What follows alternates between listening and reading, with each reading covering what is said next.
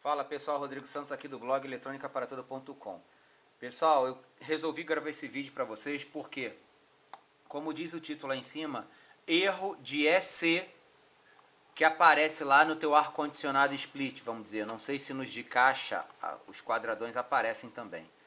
Tá? É um erro comum, pelo que fiquei sabendo, mas eu passei por esse problema. E eu quero dizer para vocês o seguinte, eu estou aqui com uma caixa de um capacitor e vocês estão vendo um capacitor eletrolítico aqui. Rodrigo, mas peraí, esse tamanho todo da palma da tua mão, é isso mesmo, pessoal. E tá aqui. Especificação e tudo. Eu escrevi, escrevi aqui, ó. Do ar condicionado Mideia, Maidia, como vocês queiram dizer, eu não sei pronunciar. 9000 BTU. Esse capacitor eletrolítico é um capacitor duplo.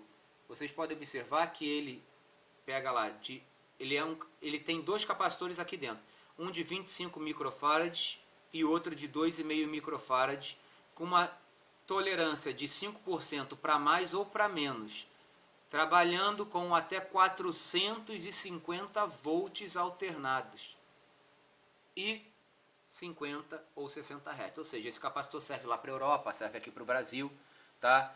Mas eu passei, eu estou gravando esse vídeo porque eu passei pelo problema e digo, Acho que tem mais gente aí que pode entrar nessa dúvida. Se vocês observarem, não sei se dá para perceber no vídeo, esse capacitor está estufado. Já começa por aí. Ele está ali com uma barriguinha em cima. E embaixo também não está plano a base. Rodrigo, mais três terminais? Justamente. Se vocês observarem, tem um C aqui, um FAN escrito aqui e um HERM. Eu não sei de fato o que significa HERM, podem escrever aqui embaixo quem sabe, mas eu julgo esse aqui, tá? que isso aqui, um capacitor dá o start no compressor do ar-condicionado e o outro, que fan em inglês é ventilador, dá o start no ventilador da tua condensadora lá fora, ou evaporadora, não sei qual o nome, ok? Então, resultado, aqui é o comum. Pessoal, o meu ar apresentou erro de EC.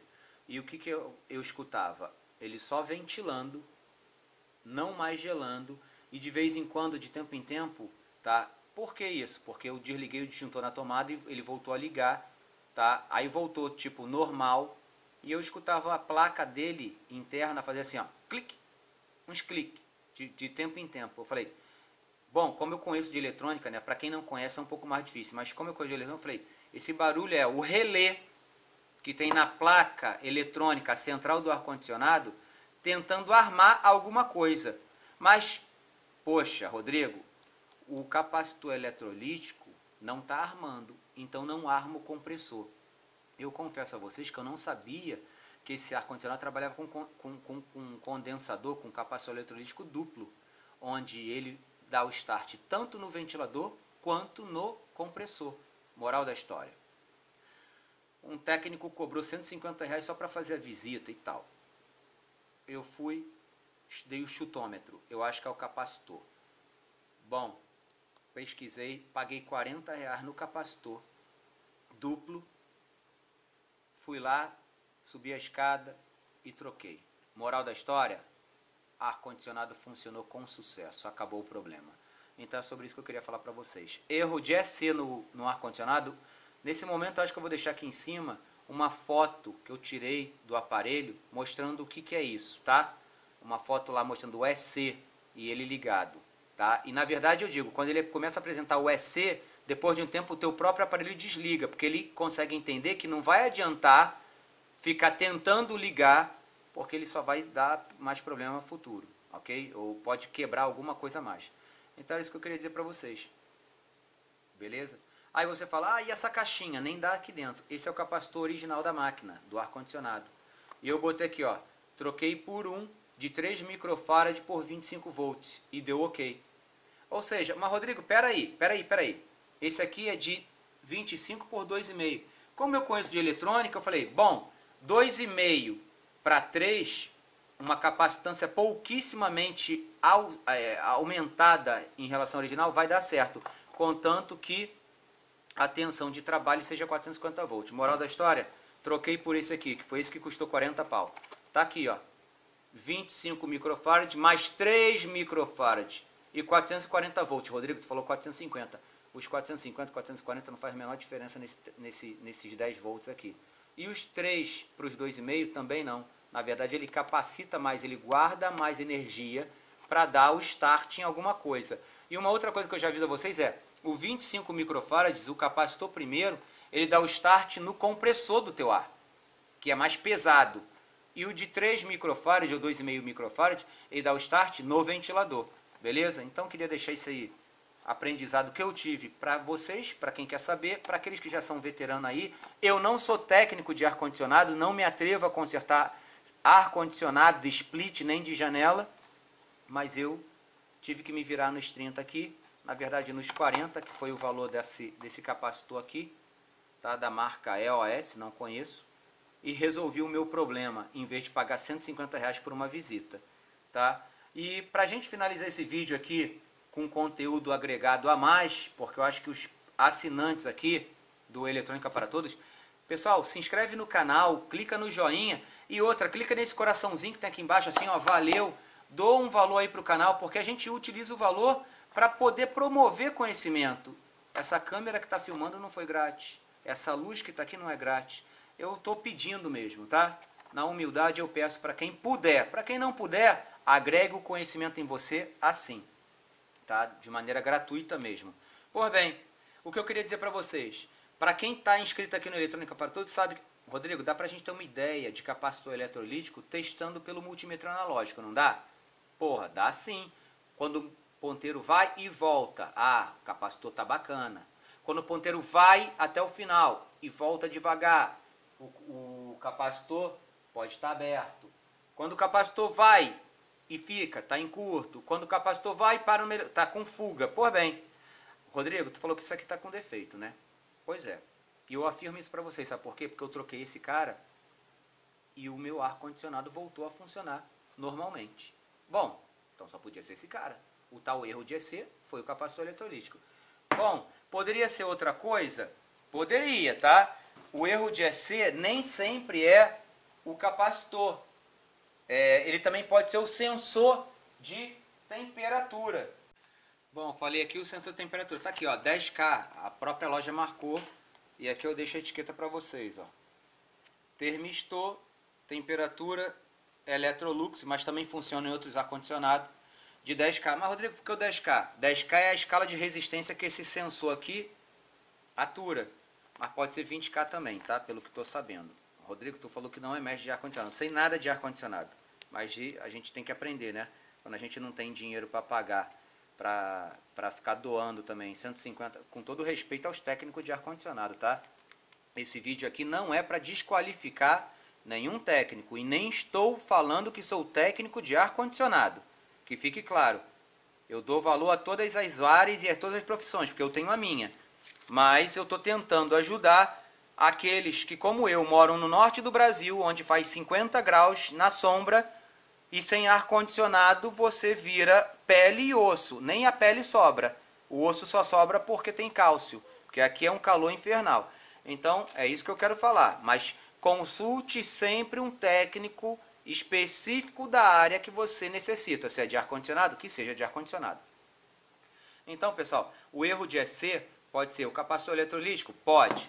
Pode ser o sensor de temperatura? Pode. Pode ser a, a própria placa de circuito eletrônico estragada? Pode. Pode ser mil coisas, tá? Então eu dei o chutômetro. Por causa de quê? Mais uma vez, ó, eu escutava um clec dentro do quarto.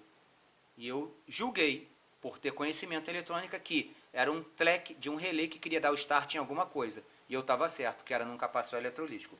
Por bem, voltando. Rodrigo, mas tu tem certeza que esse capacitor aqui está ruim? Vou provar para vocês. Olha aqui, eu tenho aqui um aparelho chinesinho, que para mim é um dos melhores. E eu vou botar aqui, ó, primeiro, Infan. Tá marcado lá, né, diretora? E vou botar aqui o preto no comum. Ok? E vamos clicar no botão. Tá aí, vamos ver.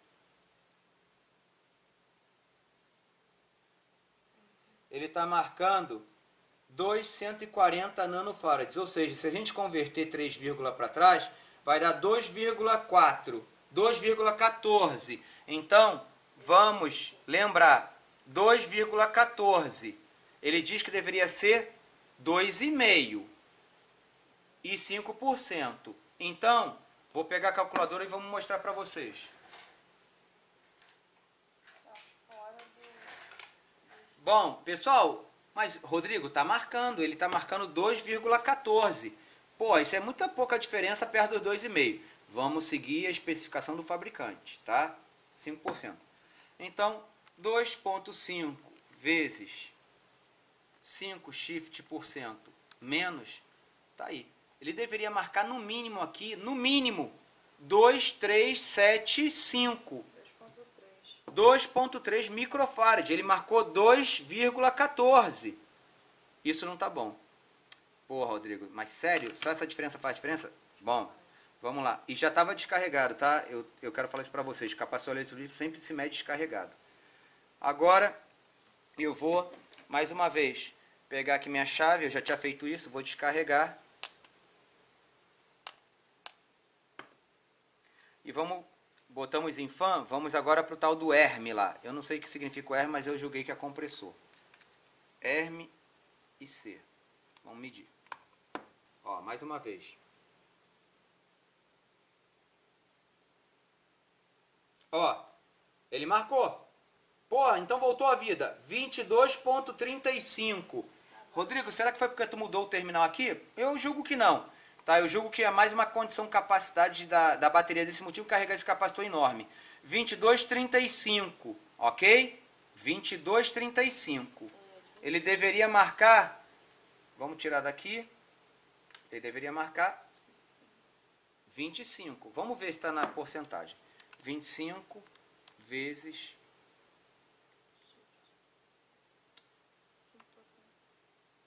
shift por cento. 1,25. Olha quando deveria marcar. 23,75, pessoal. Ele marcou 22 e 22,5. Ele está abaixo do que deveria. Mas, Rodrigo, pera aí, cara. É uma tolerância. Rodrigo, isso aqui não funciona mesmo? Pessoal, eu jamais trocaria isso aqui do ar-condicionado se não tivesse, se, se, se tivesse funcionando. Eu sei que vocês acreditam nisso porque nenhum doido faria isso, né? Agora, a capacitância, a capacitância dele está inferior ao que deveria. Ele fala de 5%. Tá? tá Ele mais. diz exatamente, ele diz 5%, ele não está falando aqui 10%. Então, pessoal, esse cara foi o problemático. Ah, Rodrigo, eu não tenho um aparelho desse, mas eu tenho um multímetro, tá? Tipo esse teu aí da Minipa ou qualquer outro, e eu vou medir a capacitância, cara, porque eu não tenho o aparelho japonês lá, então vamos descarregar mais uma vez. Nunca carregado, tá? Não é a forma ideal de descarregar, mas é uma delas. Vou botar aqui. Olha aí, Olha aí. Marcando igual aquele aparelho chinês. 2,14. Pior, 2,12. Tá?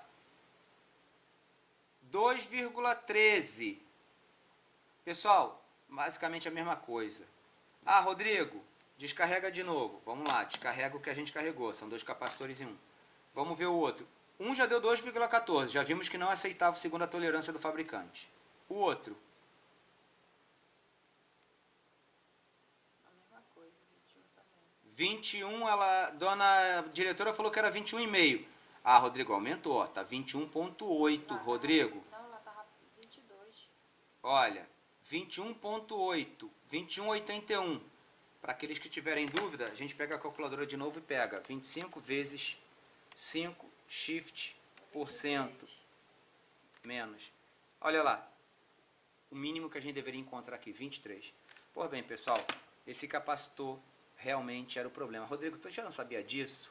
Já, tanto é que eu troquei ele por esse e consegui resolver o problema do ar-condicionado. Voltou a funcionar normalmente. Mas eu queria mostrar isso aqui para vocês. Por quê?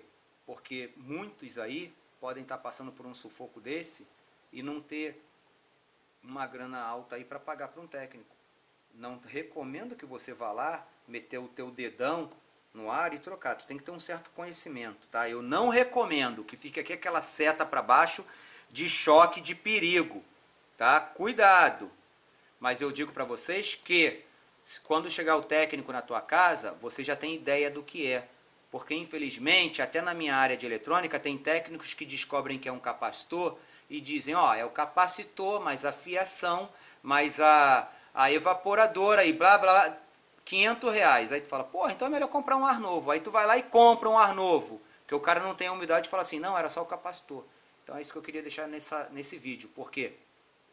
Gente picareta tem em toda a área da humanidade, né, pessoal? Não é só no Brasil, não. Resolvemos o erro de EC, deixa a imagem uma vez mais aqui em cima, e você talvez possa resolver. Só não recomendo tocar em nada energizado. Ah, Rodrigo, mas eu quero botar o meu dedão lá. Primeiro de tudo, desliga o disjuntor geral da tua casa. Desliga. Geral, apaga toda a casa. E depois, descarrega teu capacitor antes de mexer nele. É isso aí. Fica com Deus. Até a próxima e tchau. Audio Jungle.